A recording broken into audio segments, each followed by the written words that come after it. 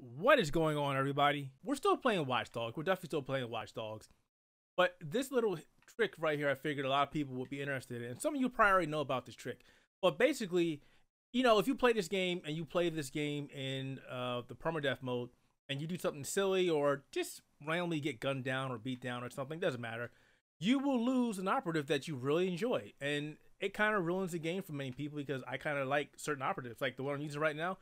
I love this guy. He is one of my favorites because he's in Albion Turncoat. He no longer fights for the bad guy, he fights for the good guys. However, I have had several instances where I've done something stupid and I've lost my guy.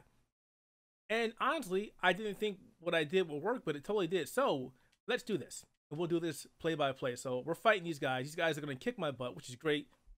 Not really great, but they're going to kick my butt. And what's going to happen is, well, I'm going to lose my guy.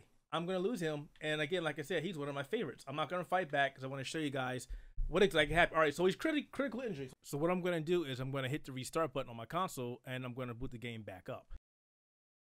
All right, now you see this same guy was the guy who got critically injured, but he's back. Again, what happens is the moment you hit the reset button on your console or on your PC, the game takes you back to the point you were before your operative died. Now, at the screen where it says your operative died, the second you hit the button to switch your operative, they're gone. You cannot get them back. They are injured. I guess injured, they come back. I don't know. I've never had that happen because I've always hit the reset button. However, I do know when they die completely, and I've done this before, the moment I hit the button to swap them out, they're gone. I can't get them back. They're removed from my screen. However, when I found this tactic out and I was like in a moment of rage, hit the restart button and it came back and I was like, son of a gun, my guy is back. So yes, if you have an operative that you really enjoy, and I love this guy because he has the Albion uh, outfit going on and allows me to sneak in places I shouldn't be in. The second they are laid out, they're critically injured, they are dead, they are incapacitated, hit the restart button. It will take you back to the mission you just did successfully or the beginning of a mission before you died.